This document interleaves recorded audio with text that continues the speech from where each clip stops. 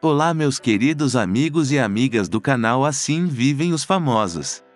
Sejam todos bem-vindos a mais um vídeo do canal. No vídeo de hoje vamos conhecer um pouco da história de vida do ator brasileiro Edson Celulari. Não esqueça de se inscrever no canal para mais vídeos e não esqueça de deixar o like.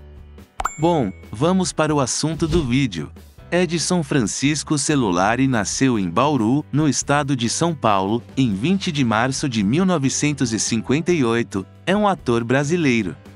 Iniciou sua carreira artística em 1978 na telenovela Salário Mínimo, da extinta TV Tupi. Sua estreia no cinema, por outro lado, teve maior destaque em sua carreira, uma vez que seu personagem em Asa Branca, um sonho brasileiro lhe garantiu o prêmio de melhor ator pelo Festival de Brasília. Posteriormente, Edson Celulari fez diversos trabalhos na televisão como Ciranda de Pedra, Guerra dos Sexos, Amor com Amor se Paga, Sassaricando, Que Rei Sou Eu, entre outros. Em 1995, seu papel na minissérie Decadência o consagrou com duas premiações: Melhor Ator pela Revista da TV e pelo Troféu APCA. Três anos depois, Celulari teve um de seus trabalhos notáveis em Dona Flor e seus dois maridos, quando interpretou Vadinho.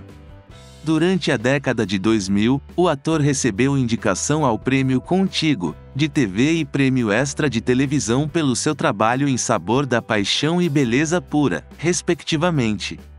Biografia Descendente da família Celurali, oriunda da comuna italiana de Santa Helena Sanita, estudou no CTI, Colégio Técnico Industrial Prof. Isaac Portal Roldan de Bauru, São Paulo no curso de Eletrônica. Oriundo do grupo Preve de teatro amador da cidade de Bauru, aos 16 anos, mudou-se para São Paulo, para estudar na EAD, Escola de Arte Dramática da USP. Iniciou sua trajetória em 1978 na telenovela Salário Mínimo, da TV Tupi, interpretando Ivan. No ano seguinte, foi Mário em Gaivotas e esteve no elenco de Casa Fantástica. No início da década de 1980, foi para a Rede Globo viver os personagens Ivan e Conrad em Marina e Plumas e Paetês, respectivamente. Entre 1981 a 1983, deu vida a Sérgio em Ciranda de Pedra e Carlos em O Homem Proibido, além de atuar como Marcelo em Louco Amor e Zenon da Silva em Guerra dos Sexos. Em 1984, deu vida a Thomas na telenovela Amor com Amor se Paga. Nos três anos posteriores, interpretou os personagens Joaquim em Um Sonho a Mais, Tiago Souza em Cambalacho e Guel em Sassaricando. Finalizou o decênio participando da minissérie Chapadão do Bugre como José de Arimateia, além de viver Jean-Pierre em Que Rei Sou Eu, no início da década de 1990, foi para o SBT viver o personagem Totó na telenovela Brasileiras e Brasileiros. Em 1991, esteve no papel de São Jorge no seriado Mundo da Lua, da TV Cultura. Em 1992, voltou para a Rede Globo vivendo Ricardo em Deus nos acuda e, no ano seguinte, foi Raimundo Flamel em Fera Ferida. Em 1995, interpretou Júlio Falcão em Explode Coração e foi Mariel na minissérie Decadência. Este último, teve seu papel consagrado duas vezes como melhor ator pela revista da TV e troféu APCA. Além disso, também fez uma participação especial no programa Você Decide, no episódio Não Se Pode Ter Tudo. Em 1996, deu vida a Marcão Araújo no humorístico Sai de Baixo, no episódio Fora Daqui, além de participar da comédia A Comédia da Vida Privada como César no episódio Drama. No ano seguinte, interpretou o criminoso Jamil em A Justiceira, no episódio de estreia Preço da Vida. Em 1998, esteve na pele de Henrique na telenovela Torre de Babel, assim como foi Vadinho na minissérie Dona Flor e seus dois maridos.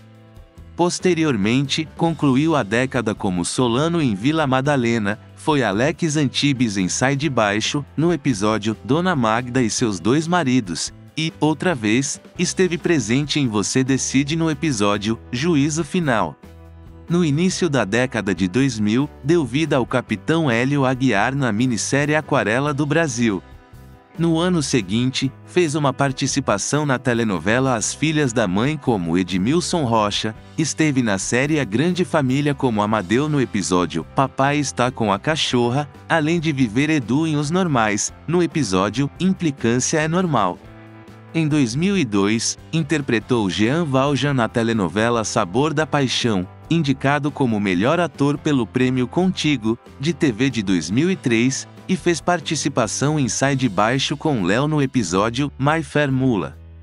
Além disso, também integrou o elenco de Os Normais como Paulo Arthur no episódio Desconfianças Normais, além de viver César em Brava Gente e encarnam na pele de Don Quixote no infantil Sítio do Pica-Pau Amarelo.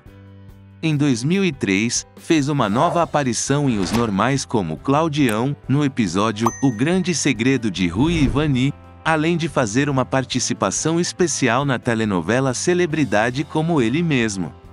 Nos dois anos seguintes, interpretou Cicilo Matarazzo e Glauco nas obras Um Só Coração e América, respectivamente.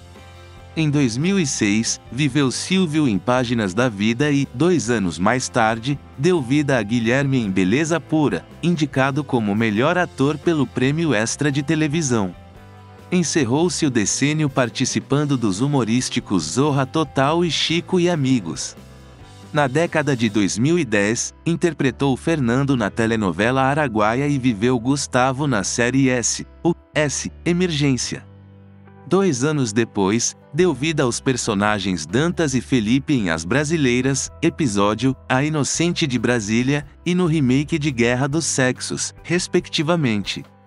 Em 2014, foi o Dr. João Paulo Gil em Animal, obra do canal por assinatura GNT e esteve no elenco de Alto Astral como Marcelo. Três anos mais tarde, deu vida a Dantas em A Força do Querer, 53, no ano seguinte, foi Eduardo Mantovani em Malhação, Vidas Brasileiras e Dom Sabino em O Tempo Não Para. Estreou nas telonas em 1981 como protagonista de Asa Branca, Um Sonho Brasileiro, papel que lhe garantiu o prêmio de melhor ator pelo Festival de Brasília, Festival de Gramado e Prêmio Air France. Logo em seguida, viveu Ricardo em Os Vagabundos Trapalhões. Em 1983, interpretou Cirino em Inocência e, dois mais tarde, foi Max em Ópera do Malandro, e foi intérprete das canções Aquela Mulher, Desafio dos Malandros e Pedaço de Mim. Em 1986, esteve duas vezes nas telonas como Ticão em Brasa Adormecida e Luiz em Sexo Frágil. Em 1991, deu vida a um doutor no curta-metragem A Revolta dos Carnudos. Seis anos depois, foi a vez de participar da obra For All, o trampolim da vitória interpretando Wolfgang Stossel. Em 2006, foi Gaspar de Frois no filme Diário de um Novo Mundo, retornando ao cinema após 12 anos como Vitório em Teu Mundo Não Cabe nos Meus Olhos e esteve no elenco de Contra a Parede. Em agosto de 2018, Edson Celulari foi homenageado pelo Festival de Gramado com o troféu Oscarito. Vida pessoal. Em junho de 2016, o ator descobriu que estava com linfoma não Hodgkin, um tipo de câncer que afeta o sistema linfático. Após cinco meses de tratamento e inúmeras sessões de quimioterapia e radioterapia, anunciou que estava completamente livre da doença. Bom, esse foi o vídeo de hoje. Se inscreva no canal para mais vídeos como esse, não esqueça de deixar o like no vídeo. Fiquem todos com Deus e até o próximo vídeo.